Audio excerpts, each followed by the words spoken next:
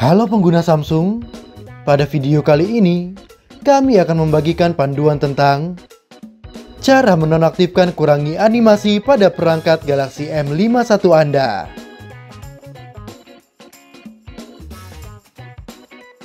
Metode ini memungkinkan Anda untuk dapat menonaktifkan kurangi animasi pada perangkat Galaxy Anda.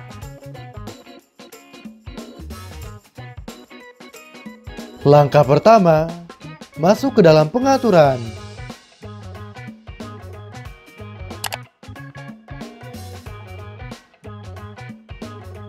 Kemudian, pilih fitur lanjutan.